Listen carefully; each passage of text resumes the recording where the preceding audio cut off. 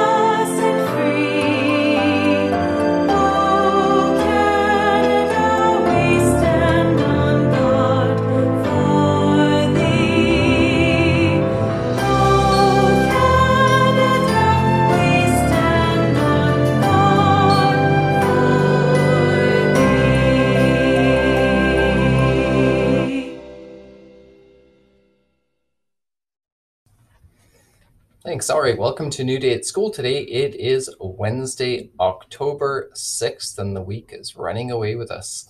Uh, heads up though, Thanksgiving is coming up this weekend, and so there will be no school on Monday next week.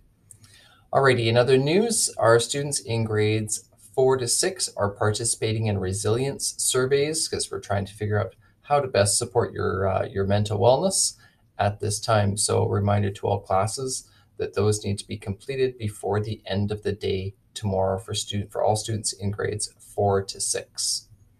Yesterday I was talking about uh, some recess behavior stuff, so a little reminder, please, that when we are outdoors at recess, please work hard to make sure that you're not uh, coming in close contact with another cohort as you head out to your recess zone.